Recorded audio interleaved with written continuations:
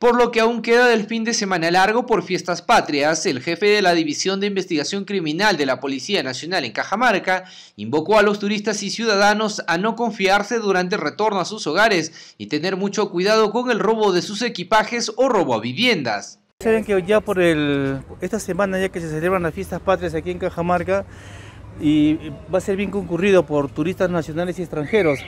Entonces también debido a ello por este incremento que va a haber acá por fiestas patrias de muchas personas que van a visitar la ciudad de Cajamarca, es de que también posiblemente sean frecuentados también por delincuentes que se dedican a estafar a diferentes personas que van a estar acá.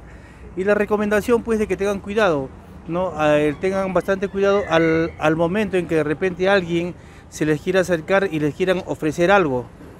¿no? O de lo contrario también pues si reciben mensajes de texto en sus teléfonos celulares no ingresen a los links que les ofrecen ahí.